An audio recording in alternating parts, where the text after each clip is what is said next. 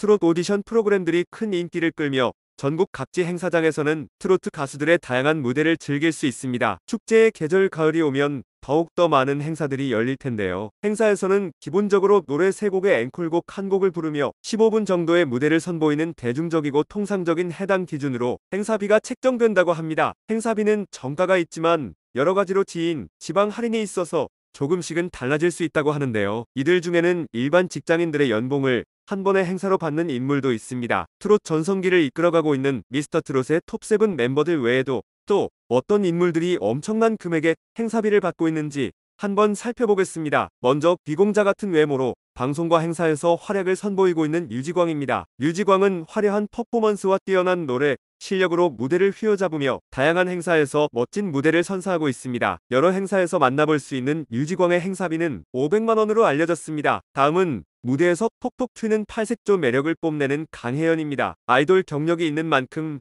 무대 위에서도 자유자재로 퍼포먼스를 펼치는데요. 가녀린 외모에 숨겨둔 반전 성량으로 보는 이들을 한눈에 반하게 만드는 강혜연의 행사비는 600만원으로 알려졌습니다. 다음은 트로트뿐만 아니라 뮤지컬 배우로도 실력을 인정받은 별사랑입니다. 다년간의 무대 경험으로 쌓은 탄탄한 가창력과 디테일한 표현력, 화려한 무대 매너로 관객들의 마음을 사로잡는 별사랑인데요. 미스트롯2에서 톱6에 등극하며 실력을 인정받은 만큼 다양한 무대를 선보이며 사랑받고 있습니다. 신곡 발매에 이어 뮤지컬 출연 등 다양한 분야를 넘나들며 올여름 뜨거운 행보를 펼치고 있는 별사랑의 행사비는 800만원으로 알려졌습니다. 다음은 무더위를 날리는 캡사이신 보이스 김의영입니다. 청순한 비주얼 속 뿜어져 나오는 탄탄한 내공이 전해지는 매콤 캡사이신 목소리가 트레이드 마크인 김의영은 행사 무대에서도 다채로운 매력을 뽐냅니다. 완벽 비율을 자랑하는 비주얼에서 뿜어져 나오는 남다른 깊이가 느껴지는 트로트 보이스가 반전 매력인데요. 미스트롯은 탈락 등의 실패에도 꺾이지 않는 마음으로 미스트롯2에 도전하여 톱5에 오르며 성공을 향한 발걸음을 이어나가고 있는 김의영의 행사비는 800만원으로 알려졌습니다. 다음은 두 번째 콘서트로 팬들과의 만남을 앞두고 있는 은가은입니다. 미스트롯2에서 많은 사랑을 받은 은가은은 이번 콘서트의 기획부터 적극적으로 참여해 사소한 것 하나하나 자신의 의견을 피력해 무대와 팬들을 향한 진심을 담은 최고의 공연을 준비하고 있다고 합니다. 방송에서 사랑받았던 다양한 장르의 곡들을 선곡해 현장에서만 느낄 수 있는 생동감이 있는 모습을 선보일 예정이라고 하는데요. 무대 위에서 빛이 나는 은가은의 행사비는 1200만 원으로 알려졌습니다. 다음은 매번 중독성 있는 무대를 선보이는 조명섭입니다. 조명섭의 무대를 보는 이들은 본인이 태어나기 훨씬 전에 노래를 부르면서도 그보다 더 윗세대의 노래를 하는 것 같다는 평을 남깁니다. 1999년생의 감성이라고는 믿기 힘들 정도로 그 시대의 감성을 이끌어내는 그야말로 인간 축음기인데요. 가요계에서 보기 드문 벨칸토 창법과 중저음의 바리톤 발성으로 따스한 감성과 추억을 선사하는 조명섭의 목소리는 여러 번 들어도 질리지 않고 대중적인 클래식한 매력을 더해줍니다. 많은 장르를 넘나들며 무대를 휘어잡는 조명섭의 행사비는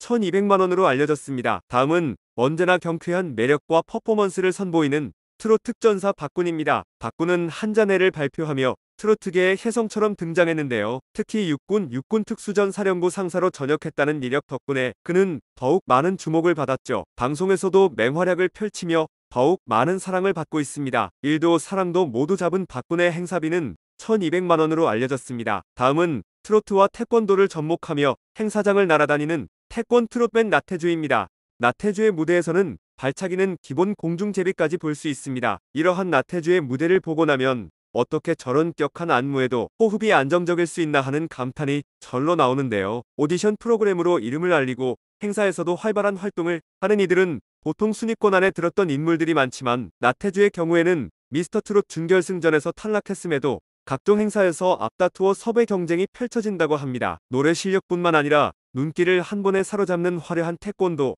퍼포먼스가 큰 영향을 미치는 것 같은데요. 대체 불가 퍼포먼스장인 나태주의 행사비는 1,500만원으로 알려졌습니다. 다음은 국악 트로트 요정 김다현입니다. 김다현은 올해 15살에 어린 나이에도 무대에서 노련한 모습을 보여주며 청중을 놀라게 합니다. 방송을 하고 공연하며 노래도 부르고 공부도 같이 하려고 하다 보니 체력적으로 쉽지 않아 홈스쿨링을 선택하게 되었다고 하는데요. 아버지 김봉곤은 막내딸인 김다현이 우리 집 기둥이라며 뿌듯한 마음을 드러내기도 했습니다. 나이는 어리지만 어엿한 모습으로 무대 위에서 관객들과 소통하는 김다현의 행사비는 1,500만원으로 알려졌습니다. 다음은 판소리계 신동으로 불리는 김태연입니다. 미스트롯2에서 최종 4위에 오르며 트롯 신동으로 이름을 알렸는데요. 무대 위에서 톡톡 튀는 모습으로 중견 가수 못지않게 떨지 않고 베테랑의 모습을 보여줍니다. 매력적인 허스키 보이스로 무대를 압도하는 김태연의 행사비는 1,500만원으로 알려졌습니다. 다음은 불타는 트롯맨에서 우승을 거머쥔 손태진입니다. 손태진은 성악을 전공한 크로스오버 가수이지만 트로트에 도전해 놀라움을 자아냈습니다. 손태진에게도 이는 큰 도전이었다고 하는데요. 손태진은 국내에서 많은 분들의 공감대를 얻으려면 트로트란 장르를 빼놓을 수 없다. 한국 문화가 가장 많이 담긴 음악이다 보니 이 길을 걷지 않으면 국민 가수 반열에는 오를 수 없다는 생각이 들었다. 라며 트로트에 도전한 이유를 밝혔습니다. 불타는 트롯맨 전국 투어 콘서트가 얼마 전 대장정의 막을 내렸으며 다양한 방송 프로그램에 출연하느라 아직 지역 행사에서는 만나기가 어렵다고 하는데요. 현재로서 손태진의 행사비는 1600만원으로 추정되고 있습니다. 다음은 트롯 바비 홍지윤입니다. 홍지윤은 행사장에서 노래를 하다가 다리에 곱등이가 붙어도 놀라지 않고 평온한 모습으로 노래를 끝마친 것으로 유명한데요. 복부까지 올라왔음에도 노래를 중간에 끊지 않고 부르며 손으로 툭 하고 아무렇지 않게 털어내는 모습에 많은 이들은 베테랑이라며 홍지윤의 대처에 감탄했습니다. 이렇게 행사 무대에서 프로의 면모를 보여주는 홍지윤이지만 한동안 소속사와의 분쟁으로 행사는 물론 방송까지 제대로 활동을 하지 못했었는데요. 분쟁이 잘 마무리된 후 김호중, 안성훈 등이 소속되어 있는 생각 엔터테인먼트로 이적하며 다시금 활동에 박차를 가하고 있습니다. 다시금 팬들의 곁으로 돌아온 홍지윤의 행사비는 1,700만원으로 알려졌습니다. 다음은 신의 트로트 가수들이 쏟아지는 가운데 꿋꿋하게 활동을 이어가는 진성입니다. 진성은 안동역에서 태클을 걸지마 등의 히트곡으로 많은 사랑을 받으며 트로트 메들리 4대 천왕으로 불리는 인물인데요. 진성은 행사에서 정해진 가격대로 받는 잘 안 깎아주는 가수 중에 한 명으로 유명합니다. 그러나 딱 한 가지 조건은 예외라고 하는데요. 바로 부모님을 위한 평생 딱 한 번의 공연인 칠순, 팔순 잔치입니다. 진성은 효도하는 마음으로 제일 열심히 한다. 칠순과 팔순 잔치는 무조건 반값 할인이다. 라며 남다른 효심을 보였습니다. 치열한 트로트계에서 여전히 건재함을 자랑하는 진성의 행사비는 1,700만원으로 알려졌습니다. 다음은 진성과 마찬가지로 젊은 후배 가수들 사이에서 영향력을 자랑하는 김연자입니다. 김연자는 발매 후 4년 만에 역주행한 아모르 파티로 큰 인기를 얻었는데요. 중독적인 멜로디와 현실적인 가사로 인기를 얻으며 데뷔 44년 만에 대학 축제 요정으로 등극하기도 했습니다. 나이가 무색한 파워풀한 목소리로 행사 무대를 사로잡는 김연자의 행사비는 1,700만원으로 알려졌습니다. 다음은 장구의 신 박서진입니다. 박서진은 한 달 행사만 50개일 정도로 행사의 신으로 불렸는데요. 이에 행사비가 10배 정도 상승하며 돈이 들어올 때마다 놀란다고 언급하기도 했었습니다. 박서진은 미스터트로트를 통해 더욱 이름을 널리 알리며 많은 인기를 얻게 되었지만 행사비를 전년도와 동일한 천만원으로 동결하며 다른 가수들 측에서 박서진에게 행사비를 올리라는 목소리가 나올 정도였다고 하는데요. 그 이후에도 계속해서 인기가 올라간 박서진의 행사비는 1700만원으로 알려졌습니다. 다음은 행사 여신 홍진영입니다. 홍진영은 사랑의 배터리, 엄지척, 잘가라 등 수많은 메가 히트곡 보유자로 각종 행사에서 섭외하기 바빴습니다. 한창 전성기 때는 하루에 행사를 8개나 소화한 적이 있을 정도였다고 하는데요. 일본 당일치기 공연은 흔했고 베트남 다낭 당일치기 행사를 다녀온 적도 있다고 하죠. 논란 전 행사비는 2천만원 이상이었지만 현재 홍진영의 행사비는 1,800만원으로 알려졌습니다. 다음은 미스트롯2의 우승자 양지은입니다. 양지은은 올해 상반기 내내 무대와 예능 그리고 공연 등을 넘나드는 활발한 활동으로 팬들을 만났습니다. 각양각색 방송에 출연하며 행사 무대에서도 변함없는 실력을 뽐내는 양지은인데요. 국악과 트로트를 넘나드는 보컬의 양지은은 트로트의 존재감을 다시 한번 남겼습니다. 각종 행사까지 참여하며 하반기도 열일 행보를 이어갈 양지은의 행사비는 2천만 원으로 알려졌습니다. 다음은 이미 지역 행사 무대에서 유명했던 진혜성입니다. 진혜성은 미스터트롯2에서 최종 3위를 거두었는데요. 미스터트롯2에 출연하기 전 가장 높은 출연료를 받고 있었던 인물이었습니다. 앞서 트롯 전국체전에서 우승한 경력이 있다고 해도 고가의 행사비였는데요. 하지만 높은 행사비에 진해성을 찾는 수요가 높지는 않았다고 합니다. 미스터트롯2로 다시 한번 인기를 실감한 진해성의 행사비는 2천만 원으로 알려졌습니다. 다음은 미스터트롯2에서 선을 차지한 박지현입니다. 박지현은 미스터트롯2를 통해 얼굴을 알리며 방송이 끝난 지금까지도 많은 인기를 얻고 있습니다. 톱7 중 유일하게 성인 가요 차트에 4곡이나 올리며 대세남임을 입증했는데요. 시원한 가창력과 수준급 댄스 실력으로 주목을 받으며 경연에서 보여준 모습 외에 여러 방송에서 다양한 무대와 예능감을 뽐내고 있습니다. 미스터트롯2 출연 전 신인이었기에 행사비를 측정하기는 어렵지만 100만원 이하의 행사비를 받았을 것으로 추정되었는데요. 아직 선배 가수들만큼 행사에 활발하게 참가하지는 않지만 미스터 트로트 이후 큰 인기를 끌고 있기에 박지현의 행사비는 2,100만원으로 추정되고 있습니다. 다음은 미스터 트로트 우승자 안성훈입니다. 안성훈은 미스터 트로돈에서 아깝게 탈락했지만 이후로도 꾸준히 활동을 이어왔습니다. 때문에 행사도 여러 곳에서 무대를 선보였지만 300만원에서 500만원 수준이었다고 합니다. 그러나 포기하지 않고 다시 한번 도전한 결과 미스터 트로트의 우승을 거머쥐게 되었는데요. 얼마 전 우승 상금 5억으로 집 마련까지 성공한 안성훈의 행사비는 2,200만원으로 알려졌습니다. 다음은 트로트 가수로서의 활동뿐만 아니라 뮤지컬 배우로도 승승장구하고 있는 김희재입니다.